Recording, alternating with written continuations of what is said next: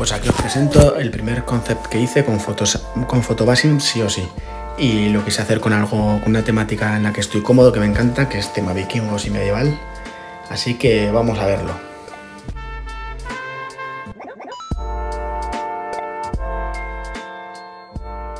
Primero empiezo haciéndome un poco de idea general, pongo ahí las piezas básicas y cogí a Ragnar de, espaldas, cogí a un par de caballeros, la imagen ya me di cuenta que se me quedó un poco corta por abajo, así que le puse el carro y ahora veréis que alargo la imagen por abajo, le añado más terreno, más camino, ¿lo ves? Ahí. Y ya empezamos eh, a añadir ya cosillas y empezar detalles.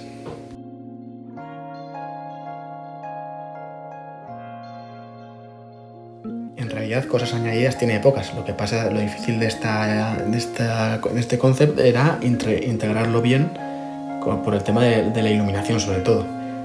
Y, bueno, y que al ser el primero lo que hacía, pues, pues lo iba aprendiendo conforme lo iba haciendo.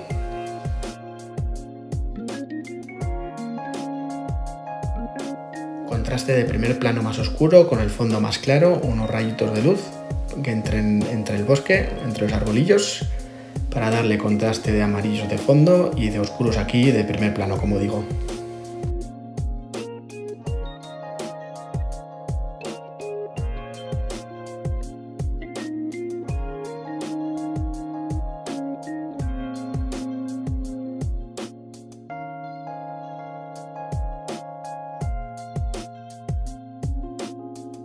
Me costó un poco integrar las, eh, las personas del fondo, los caballeros. El soldado del fondo al final lo quité, no veía que no pegaba.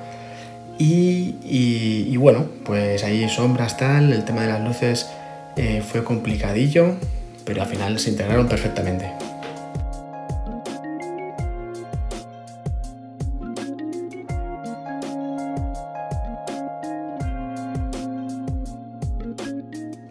Añadimos algunos detalles en el carro, eh, alguna calavera al vikingo principal aquí en medio de la ilustración y, nada, y, seguimos completando con detalles, a integrar todo entre, entre ellos, con el suelo, con las hojas y con todo.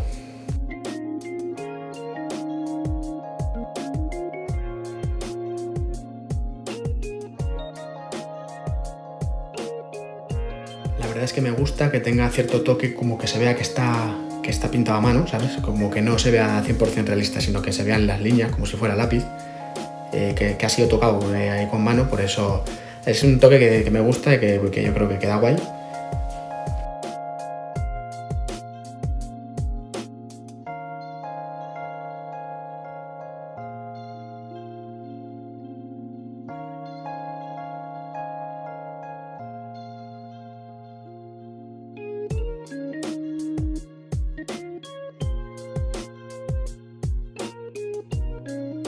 Añadimos últimos detalles y al final nos quedó esta ilustración muy interesante de los vikingos recién llegados eh, que empiezan a sembrar el pánico entre la población inglesa.